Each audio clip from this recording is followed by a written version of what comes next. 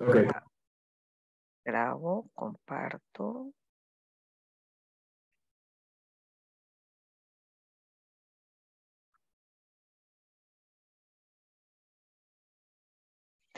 Bueno, eh, ya, termina, ya terminamos la unidad 1, la unidad 2 y estamos listos para ir hacia el examen parcial.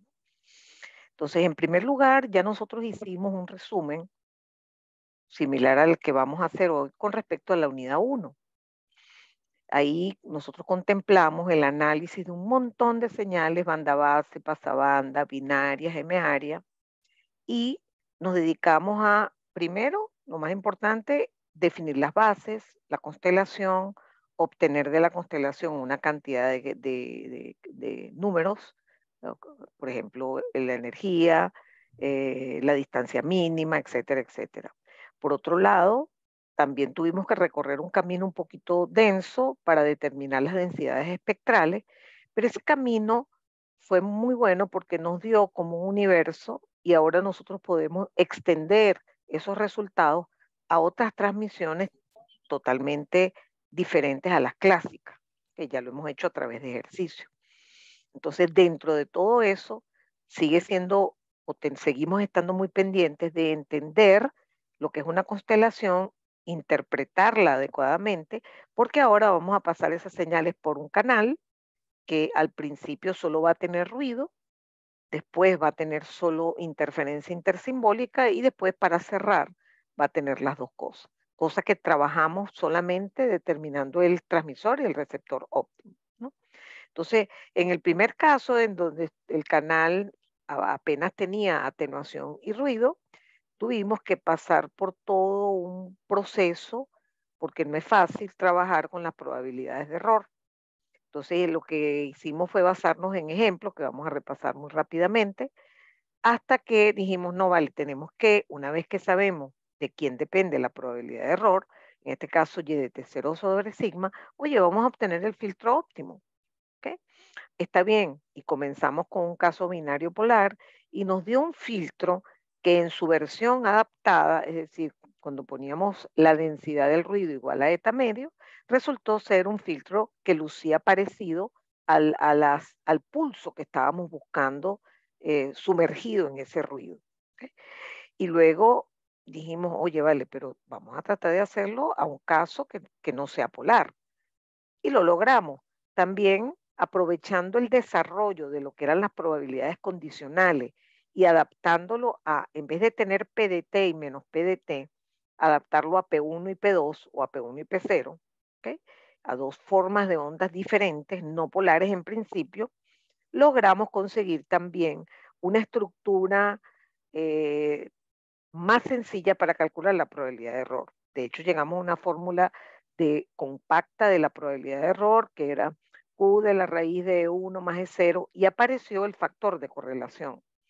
Ese factor de correlación fue importante, más allá de que estaba formada parte de una fórmula cómoda de trabajar a la hora de calcular una probabilidad de error en un caso binario, canal AWGN, receptor óptimo, fue interesante porque empezamos a observar que ese factor de correlación estaba relacionado con, a su vez, con lo bueno o lo malo que es un sistema en cuanto a la probabilidad de error.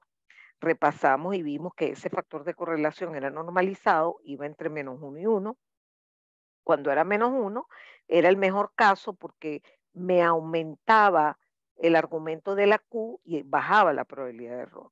Después estaba uno, vamos a llamarlo intermedio, que eran los casos en donde el factor de correlación era cero, eh, que aplica cuando, por ejemplo, en binario uno de los símbolos es nulo o cuando son ortogonales. Bueno, por cierto, cuando uno de los símbolos es nulo también son ortogonales.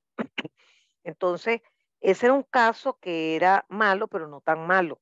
Había un caso peor, era de cuando teníamos pulsos proporcionales, ya llamo pulso, símbolos proporcionales es válido también para sinusoides, que en realidad no era nada bueno, porque al darme lambda igual 1, el argumento de la Q se hacía más pequeño, ampliando con esto la probabilidad de error. Nos detuvimos también trabajar, trabajando en decibeles eh, la atenuación y aprendimos, repasamos más bien un poco cómo se trabajaba con eso y cómo, por ejemplo, se afectaba una constelación cuando se, existía una determinada atenuación en decibeles. Algo que vamos a repasar en unos minutos es que ocurre cuando el ruido entra a un receptor, un subtipo de receptor óptimo que, y adaptado, que es el receptor Organ-Smith. Entonces aprendimos que la potencia a la salida de cada una de esas ramas es la misma, vale eta medio, con lo cual yo necesito sigma, que es la raíz de eta medio, y tengo ya ese número sin tener que hacer demasiadas demostraciones, sino que hicimos una sola demostración y ahora simplemente aplicamos ese resultado todas las veces que haga falta. Algo que siempre nos costó un poco más, que sin embargo también lo usamos poco, es obtener las probabilidades de error usando las probabilidades condicionales. Eh, siempre eh, les dije que calcular probabilidades conociendo alguna cosita siempre es bueno. Y en este caso las condiciones eran, ¿cuál es la probabilidad de error tal que yo sé que transmití el símbolo 1? ¿Cuál es la probabilidad de error tal que yo sé que transmití el símbolo 2? Y llegamos a hacer unos pocos ejemplos, entre ellos ejemplos cuaternarios con una sola base. Ahí aplicamos probabilidades condicionales y llegamos finalmente a expresiones de la probabilidad de error que también dependían de raíz de sobre eta, que sabemos que es importante a la hora de yo, por ejemplo, irme hacia las curvas de probabilidad de error. Por cierto, que ahorita también voy a, a, repasar el uso de una de las tablas de dados que creo que no les he puesto ningún ejercicio con ella. Bueno, eso lo cambié hoy, que por cierto volví a cambiar la, el PDF que les monto en el Drive. Bueno, entonces eh, llegamos a lo que es la representación a través de una herramienta tan valiosa, no tanto como el, diagrama de constelación, pero casi, que son las curvas de probabilidad de error versus 10 log de sobre eta, o sea, de E sobre eta en decibeles.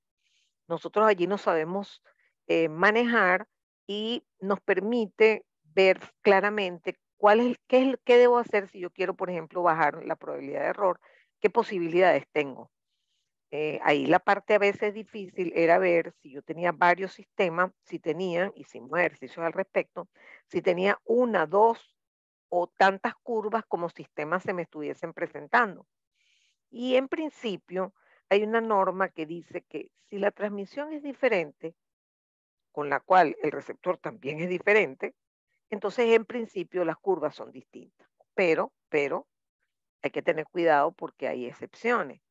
Por ejemplo, cuando trabajamos con FSK ortogonal y OK, compartieron la misma curva de probabilidad de error tanto para, para recepción óptima o recepción subóptima. Interesante el resultado para esas dos probabilidades. Pero en general, si yo les pongo un sistema todo loco, que no es ninguno de los clásicos que hemos visto, usted tiene que darse la tarea de asegurar que las curvas son distintas o son iguales. Y por eso usted está obligado a expresar la probabilidad de error en función de E sobre eta. Al final llegamos a la ICI, entonces apagamos el ruido y sustituimos el canal por un filtro limitado en banda.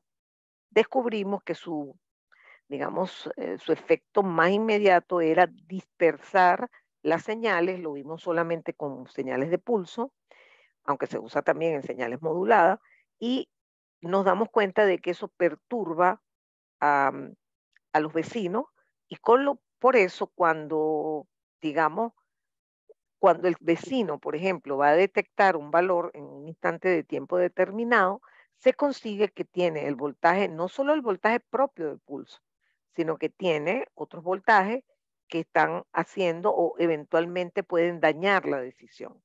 Entonces ahí aprendimos a partir de las probabilidades condicionales, en vez de con ruido, con ICI, nos dimos cuenta que necesitábamos la FDP de la ICI, aprendimos a hacerlo, con base a solo mirar el pulso y ver el tipo de transmisión que era, podíamos definir los voltajes y los umbrales para finalmente calcular probabilidades de error.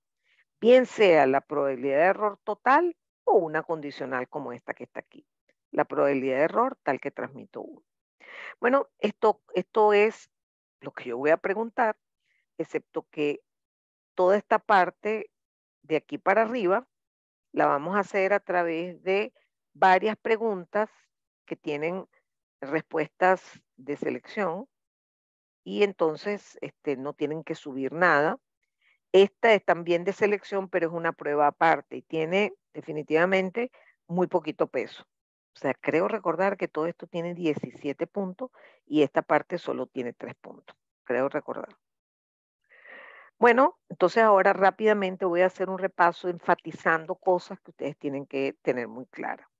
Partimos de un caso genérico de transmisión, pero binaria polar, y de un receptor arbitrario. Y lo importante de toda esta lámina es que llegamos a que la probabilidad de error, la primera vez, nos dio que dependía de y de t0 sobre sigma, siendo y de t0 el voltaje a la salida al final del bit cuando se transmite un 1, y siendo sigma la raíz cuadrada de la potencia AC, que por tratarse de ruido térmico, la potencia AC y la total son la misma. Entonces, eso quedó allí y ya nosotros nos encaminamos porque esto es aplicable a cualquier caso binario polar con cualquier receptor. Dijimos, ah, ok, entonces bueno, vamos a empezar a trabajar. Ah, no, aquí fue que intercalé la, la tabla de Gauss que no hemos usado. Esta tabla es para valores altos de probabilidad de error. Es una tabla diferente.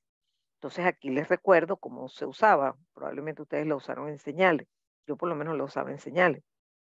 Entonces, por ejemplo, si a mí me dicen, determina Q del argumento 0.25. Entonces esto funciona así. Usted aquí ubica el 0.2. Y cuando se desplaza a la derecha va a tener la centena. Entonces, fíjense que en este punto usted está reflejando 0.25 y esta lectura es .4013, esa es la probabilidad de error en este caso, por ejemplo. O al revés, si yo le digo que la probabilidad de error es .2514, acuérdense que aquí no hay precisión. Si yo, yo les hubiese dicho .253, usted igual se tendría que ubicar aquí, porque aquí no existe .253, ¿no? Entonces, ah, digamos, usted tiene que buscar lo más cercano. ¿Ok? Entonces, bueno, imagínense que esto es lo más cercano y usted dice, bueno, necesito este argumento. Entonces es al revés. Usted dice, bueno, viendo horizontalmente, el valor de X es 0.6, pero con una centésima 7, o sea, es 0.67. Esa es la forma de trabajar con estas curvas porque si hice ejercicios con la otra curva que es para valores pequeños, que por cierto son los que usamos más. Pero cuando regresemos, cuando terminemos la materia, de hecho mañana voy a empezar el tema del siguiente parcial, vamos a necesitar unir las tablas porque va a ser muy frecuente lo siguiente. Oye, vale, tengo un sistema malísimo que me está dando una probabilidad de error de 0.2514 y lo quiero mejorar. Entonces la propuesta que tenemos hasta hoy es que aumentes la potencia, baje la velocidad o cambies el esquema de transmisión. Pero yo les voy a ofrecer una cuarta posibilidad, que es, vamos a hacer codificación de canal, que es agregar redundancia en los datos para bajar la probabilidad de error. Entonces, en algunos ejercicios ustedes van a ver que vamos a pasar de trabajar de esta tabla a trabajar con la otra, con valores de probabilidad más pequeños, porque la codificación de canal optimiza eso, es decir, baja la probabilidad de error. Entonces, por eso necesito repasarles el manejo de las dos tablas de Gauss. Bueno, entonces aquí, este ejercicio lo hicimos de hecho, pero lo tomo simplemente para recordarles varias cosas. En primer lugar, si se les da la, la constelación en el transmisor y usted sabe que el receptor es un gran Smith, es una gran ayuda, porque usted echa un ojito a ver, aquí no hay solamente atenuación y ruido. Usted echa un ojito y pregunta, ¿hay atenuación? Sí. Bueno, entonces por favor aplique la atenuación sobre esta constelación. Y por supuesto le va a quedar una constelación, ¿verdad? En donde los puntos están más pegados del origen, ¿verdad? Entonces le va a quedar más pegado del origen porque este, el factor de atenuación multiplica por un número menor que la unidad. Resulta que teniendo esa constelación a la entrada del receptor, aquí, es, aquí hay valiosos valores que tienen que ver con los voltajes a la salida de cada rama. ¿Quiénes son los voltajes de Y1? Déjenme, déjenme hacer un, gráfico con punticos un poquito más grande. Bueno, Fíjense que este es EU1 y lo que hace esta rama es agarrar el símbolo y proyectarlo sobre el eje US1. Es decir, usted obtiene la coordenada en US1. Por ejemplo, para este símbolo, este valor que está aquí escrito, que es este, que es 2 atenuado, no, importa ahorita cuál es, eh, da punto 1. Entonces usted sabe que ese es el valor que tiene Y1 cuando usted ingresa por aquí ese símbolo. Mientras que en esa misma rama, este símbolo va a ofrecer un voltaje nulo. Y este símbolo también, porque no tienen componente USU1, tienen solamente componente USU2. Entonces es súper, hiper importante que usted vea que aunque aquí ya no existe constelación a la salida, no, no, no, pero estos valores usted los puede sacar de la constelación a la entrada del receptor. No sé cuántas veces lo he repetido, pero es muy importante. Un detalle que hicimos aquí y lo hicimos muy pocas veces porque es trabajoso y en un examen es más difícil que yo lo ponga, pero me pareció que era bueno que ustedes supieran para un determinado símbolo, vamos a agarrar el símbolo 3 cualquiera, hacerlo pasar por una de las ramas. Y eso lo hicimos con el símbolo 1, que era 2 u 1. Entonces aquí lo tenemos, en la siguiente lámina lo pasamos, yo no sé si la puse aquí, sí. Lo pasamos por este sistema, terminamos multiplicando estas dos funciones me quedó una función que se parece a esta, pero tiene otra amplitud, y entonces ahora integro. Y la salida aquí me da una recta, pero que yo pellizco en un momento determinado, por ejemplo aquí. Y voy a obtener el famoso valor Y1 de T0. Igual yo podría hacerlo con la rama de abajo y multiplicaría por la base 2. Entonces eso es algo importante porque nosotros nos enfocamos tanto en los valores a la salida que nos olvidamos que aquí hay una señal que cambia en el tiempo. Otro detalle importante es, en esta parte del ejercicio, era recordar que si usted apaga la señal, lo que queda a la salida de cada rama es el ruido filtrado por el receptor y la potencia de ese ruido va a ser eta medio. Entonces, estas son cosas importantes. Bueno, aquí les ofrecí la posibilidad de calcular la probabilidad de error de una manera diferente que no fuera utilizando probabilidades condicionales.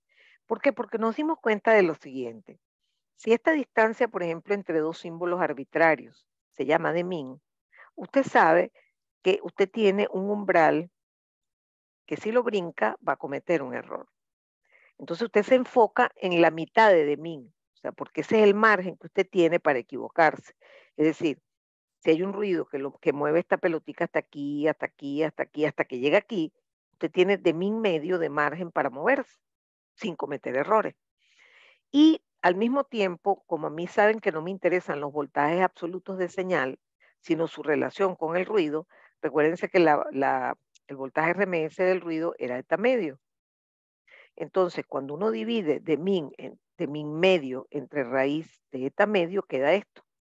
Y esa fue la famosa fórmula que nos permitió encontrar las probabilidades de error para casos arbitrarios binarios, emearios, eh, banda base o, pasabanda. ¿Cuál era el problema que se nos presentaba? El problema es que siempre tengo que hacer ese trabajo para cada símbolo y hacer esa tarea para cada uno de ellos sumando las diferentes Qs que proporcionan. Vimos ejercicios en donde hay, no en los binarios, porque en los binarios hay un solo de min, entonces aquí solo está involucrado la probabilidad de que este símbolo se convierta en este, más la probabilidad de que este símbolo se convierta en ese. Pesado siempre por la probabilidad de ocurrencia del símbolo 1. Esta es la probabilidad de ocurrencia del símbolo 2, porque para que se equivoque primero tiene que existir. Entonces eso no se nos puede olvidar. En este caso no hay mayor problema, ¿verdad? Y lo que hicimos fue verificar que en, algunas, en algunos casos que ya habíamos trabajado antes, ya teníamos estos valores de probabilidad de error, o sea que parecía que este truquito iba a funcionar. Y en efecto, ¿no? Este, aquí, por ejemplo, este ejercicio no me acuerdo si lo hice, creo que sí. Es el mismo que estábamos haciendo, pero solamente calcular, este que estábamos haciendo por aquí, pero eh, enfocado en calcular la probabilidad de error. De hecho, fíjense que aquí los valores ya estaban atenuados, ¿no? Muy bien. Entonces, insisto en este ejercicio porque este ejercicio tiene diferentes distancias. Por ejemplo, este símbolo, ¿cuál es su de min? Este valor. pero para este símbolo, ¿cuál es su de min? Este valor. Entonces, claro, tuve que aplicar esta receta para cada uno de los símbolos y obviamente multiplicarlo por un cuarto. Entonces, por eso aparecieron, por ejemplo, estos, todos, estos, todos estos elementos se corresponden a los de las distancias más cortas, que es punto uno. Por ejemplo, este, este S4 tiene solo un símbolo cercano y la distancia es punto uno. S2 igual, el símbolo más cercano es S3, ¿verdad? Y la distancia es punto uno. Pero S3 tiene dos posibilidades de errar, hacia arriba y hacia abajo. Entonces por eso aparecen dos Q.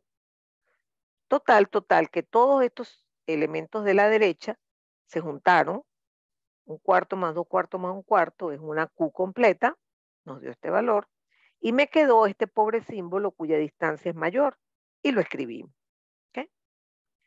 Pero una cosa que les he insistido muchísimo es que un cambio pequeño en el argumento de la Q implica un cambio grande en Q de ese valor. Entonces tienen que aprender a simplificar esa cantidad de Qs que les dan, sobre todo en aquellos ejercicios donde hay muchas distancias. Aquí hay dos nada más, una que es 0.2 y una que es 0.1. Ustedes se dan cuenta que 0.2 es el doble de 0.1. Por lo tanto, eh, usted se va a estar moviendo en la campana de Gauss en la cola más hacia el infinito. Y eso implica que Q de ese valor va a ser más chiquito que Q de este valor. Entonces usted se lo vuela. Y me queda finalmente que la probabilidad es Q de eso que está allí. Por cierto, debo decirle, me acordé en este momento de que en los exámenes he visto mucho que la gente se empeña en que para todas las transmisiones la probabilidad de error es Q de X, Q de algo. No, señor. La probabilidad de error generalmente, qué sé yo, es 3 medios, Q de tal, más no sé qué. Y, aunque la simplifique, muy pocas veces aquí va un 1. En este ejercicio sí, pero, pero es que me canso de ver en los exámenes que hacen eso, o peor, que ponen para casos absurdos que la probabilidad de error es Q de la raíz de 2 de sobre eta. Por favor. O sea, está bien que ustedes apliquen fórmula, pero que sepan en qué casos se pueden aplicar. Total que esto de la, la, cota superior de la probabilidad de error fue una salvación, realmente. El siguiente paso fue enfrentarnos a la curva de probabilidad de error. Entonces aquí específicamente me dediqué a mostrarles cuál es el efecto de la atenuación respecto a la ubicación de los símbolos en una curva de probabilidad de error. Es decir, usted está en un sistema que tiene un transmisor, un receptor, un canal. Y en un momento determinado, imagínense que está en una situación, ¿verdad? Eh, en donde había una densa lluvia, un efecto climatológico adverso, y entonces la señal se le iba a cero. Entonces usted dice, oye, qué terrible. Obviamente la probabilidad de error va a ser grande. O sea, podría yo estar en un punto como este morado. Y en un momento se desaparece la atenuación. Entonces aquí usted tiene que tener muy claro que usted se tiene que mover a la derecha porque hacia acá crece E sobre eta. Y acuérdense que en E está metido P y T símbolo. ¿Ok? Entonces, en este caso estamos hablando de que como se fue la atenuación, la potencia creció, por eso me moví a la derecha. Entonces, eh, esto también lo hice hoy, lo agregué hoy. Es muy importante que usted entienda lo siguiente. Si usted no está cambiando la velocidad, ese movimiento que hay en, estos, en este espacio, ¿verdad? en esta cantidad de sobre en decibeles, es adjudicable solamente a la energía. Pero como usted no está cambiando la velocidad, si lo que cambió fue la potencia, también es lo mismo la relación que tiene con la potencia. Me explico. Imagínense que usted sabía es sobre eta aquí. Y ahora usted se tuvo que mover hacia acá. Y recuerden que estos son de B. Entonces, cuando usted quiere escribir eso con una fórmula numérica, usted escribe lo siguiente. 10 veces el logaritmo de E en el punto verde, E en el punto verde, en el punto verde no es 4, algo, no. Esto es E sobre eta en el punto verde en decibeles. Pero sí es cierto que la relación entre verde y morado es viéndola aquí, usted tiene que ser capaz de más o menos hacer un cálculo, ¿no? fíjense que esto es 2, de aquí a aquí hay un dB, de aquí a aquí hay 2 dB, y de aquí a aquí hay un pelito más. Vamos a suponer que es aproximadamente 2.2. Entonces, si usted quiere ver en cuánto aumentó la potencia, usted puede despejar aquí P verde. ¿Cómo? Primero divide 2.2 entre 10 y después le saca eso, el antilogaritmo. Y le da una relación numérica entre P verde y P morado. Entonces, por ejemplo, si usted sabe que P morado eran 5 vatios, usted va a saber en cuánto aumentó la potencia y se convirtió en P verde. Esto es algo que usted tiene que saber hacer. Tiene que saber entender esta curva y aquí hice énfasis en eso, en el manejo en los decibeles. ¿De acuerdo? Aquí este ejemplo lo puse, lo repasé, porque a pesar de que para resolver el ejercicio solamente nos dedicamos a conseguir y de 0 sobre sigma, ¿verdad? Terminé o forzosamente poniéndolo en función de raíz de E sobre eta. Y eso es para recordar que en general eso es lo que usted siempre tiene que hacer. Si quiere, en un momento determinado, saber si esos dos sistemas son idénticos, como por ejemplo, esta es la fórmula, por cierto, para la probabilidad de error de un caso binario, equiprobable, con ruido blanco, con ruido térmico, este, y en este caso usamos un receptor pasa abajo. Pero si usted tiene una transmisión OK, eh, PRK, perdón, OK o FSK ortogonal, le va a dar también esa expresión matemática, aún con el receptor óptico. ¿De acuerdo? Entonces, esta lámina la puse para forzar el recuerdo de que no me sirve mucho. Yo, yo utilicé mucho el hecho de saber que la probabilidad de error era función de y de T0 sobre cinta. Pero una vez que hago eso, me tengo que venir para acá. ¿De acuerdo? Muy bien. Aquí, realmente, aquí lo más importante, no me voy a detener mucho, fue primero agobiarlos pasando la señal, que era un pulso no retorno a cero, por el sistema, específicamente por el, receptor Gran Smith, multiplicar esto por la base, esta es la señal que me dio aquí, integrarlas y después pellizcar esa señal para obtener y de T0. Este ejercicio fue hecho con ese propósito, que, ustedes supieran que eso hay que hacerlo en principio, aunque dentro de un ratico se van a dar cuenta que no hace falta. O sea, que hay formas de escaparse de tener que hacer todo este análisis este, eh, temporal detallado de las formas de onda. Bueno, lo cierto es que aquí tuve que agregar la demostración de qué ocurre con el ruido térmico al pasar por el receptor Gran Smith. Y allí surgió el hecho de que la potencia total es eta medio en todas las ramas, en este caso es una sola rama, y por lo tanto la potencia AC también es eta medio. Y por lo tanto sigma, que es la desviación estándar, o el voltaje RMS, es la raíz de la potencia AC, que en este caso coincide con la total. Por eso sustituimos sigma cada vez que sea necesario por raíz de eta medio. Eso es un resultado sumamente importante y que usted puede, por supuesto, usar sin demostrarlo. Este es el resultado que está aquí. Muy bien.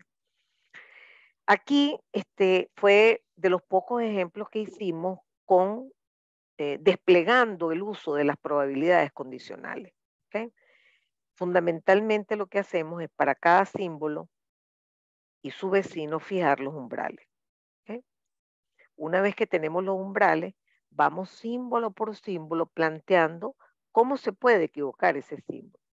Este símbolo, estamos seguros que cuando se transmita va a tener un voltaje a la salida del receptor que es 3A, porque es la proyección sobre el eje 1. Entonces, puede ocurrir que por, por, culpa del ruido, ¿verdad? Ese 3A purito que estaba allí eh, se vuelva más chiquito y llegue aquí. Listo, usted cometió un error. Pero desde el punto de vista, a mí no me importa que se equivoque y se convierta en este símbolo, en este o en este. Listo, se equivocó. Entonces yo, ¿cómo planteo eso? Bueno, la probabilidad de que este símbolo se equivoque es la probabilidad de que 3A más el ruido esté por debajo de este valor, que es 2A, que es, por ejemplo, lo que está planteado aquí. Y multiplicamos por la probabilidad. Los símbolos más complicados son los que están en el medio, porque este símbolo se puede convertir en este o en este. Y en las probabilidades condicionales hay que aplicarlo en los dos casos. Uno que caigas por debajo del umbral que es cero, el otro que caiga por encima del umbral que es 2A. Bueno, lo cierto es que terminamos este, simplificando esas expresiones y encontramos el equivalente de y de T0 sobre sigma. Ah, pero eso no me sirve. Entonces saben que para resolver este asunto, usted lo que hace es calcular acá la energía de la señal, en este caso E es igual a 5A cuadrado. Entonces usted, donde vea A, pone la raíz de E quinto, ¿verdad? Y donde diga sigma, pone raíz de eta medio. Y consiguen, fíjense esta expresión feita de la probabilidad de error para este caso cuaternario, no importa que sea banda base o pasabanda. ¿okay? Entonces, insisto en que estos casos los usamos poco porque es complicado ¿no? trabajar con las probabilidades condicionales. Entonces acá llegamos a las curvas y aquí esto sí lo trabajamos bastante. Eh, les hice caso aparte de la, mm, del análisis para la parte de atenuación, que también es aplicable aquí. Por ejemplo, aquí si yo quise pasar de esta curva a esta curva, fíjense que aquí se lo puse como ejemplo, eso también lo hice ahora. Este, yo estoy pasando, si esto es 9, esto es 10, esto es 11, entonces fíjense que llegué a 5. Es decir, que tengo una diferencia de 6 dB entre las energías en decibeles. Pues, Entonces, eso ya lo planteamos. Lo otro que tenemos que eh, recordar aquí es que si esta curva y esta son distintas, es porque sus expresiones en función de la probabilidad de error, en función de la raíz de E sobre eta, son distintas. Por ejemplo, una es Q de la raíz de 2E sobre eta y otra es Q de la raíz de E sobre eta, por ejemplo porque en este caso esta curva me la robé de, ese ejercicio. Entonces, no tengo que pensarlo dos veces, ya yo sé que el azul es la del caso óptimo. Y esta, por ejemplo, correspondía a un caso subóptimo, eso es lo que dice aquí abajo. Pero lo importante es que usted sepa, una vez que sabe que son dos curvas, sepa qué, hace. Por ejemplo, yo quiero tener la misma probabilidad de error, esta que está aquí. Entonces, me pregunto, una pregunta posible sería, ok, mira, yo no sé cómo vas a hacer tu curva azul, pero tienes que cambiar algo para obtener la probabilidad de error igual a 10 a la menos 3. Entonces uno dice, mira, ah, para mí lo menos malo es, bueno, ¿qué voy a hacer? Este, si quiero tener la misma probabilidad, ¿verdad? Voy a tener que hacer un cambio en la potencia de la señal para cambiar la energía. Y entonces eso lo manejo otra vez en unidades de decibeles. Fíjense que estos son dos líneas, serían dos decibeles. Esto sí lo trabajamos muchísimo, la verdad. Hicimos ejercicio, insistí bastante en eso. Y esto es lo mismo. O sea, aquí esto es lo mismo, solamente que lo puse específicamente. Fíjense que puse FSK no coherente, miren dónde está por allá arriba en el techo, que por cierto podía ser también OK no coherente. Luego está PSK, que es el mejor de todos, como siempre. Y en el medio, fíjense que está ASK coherente. Y esto es FSK no coherente. Fíjense que si estuviésemos hablando de ASK no coherente, usted la monta encima de esta. Y al mismo tiempo, si estuviésemos hablando de FSK coherente, usted lo monta encima de esta. Entonces, es para que se eh, tomen en cuenta que existen casos subóptimos. ¿De acuerdo? Por eso puse esta curva, para recordarles eso específicamente. En principio, las curvas son diferentes si las transmisiones son distintas. Para uno fue una sorpresa que OK y FSK ortogonal compartieran las curvas. Uno de plano pensaba que eran dos curvas distintas y no lo son. Ni para el caso óptimo, ni para el caso subóptimo. Ok. Aquí, ay, déjame acordar. Ah, ¿cómo se me va a olvidar esto? Una de las cosas que ya lo hicimos en el proyecto, la primera entrega del proyecto, que fue comparar sistemas. Y uno los puede comparar de diferentes puntos de vista, eh, a través de la potencia gastada, la velocidad, o suponer que esas dos variables son iguales en dos sistemas y proceder a calcular la fortaleza frente al ruido. Entonces, en este caso, usted tiene que buscar aquí cuál es de min, Incluso puede ya a esta altura calcular la probabilidad de error específicamente, no solamente quedarse en de min, y hacer lo mismo aquí y llegar a la conclusión que en principio el que tiene la de min más grande es el más fuerte.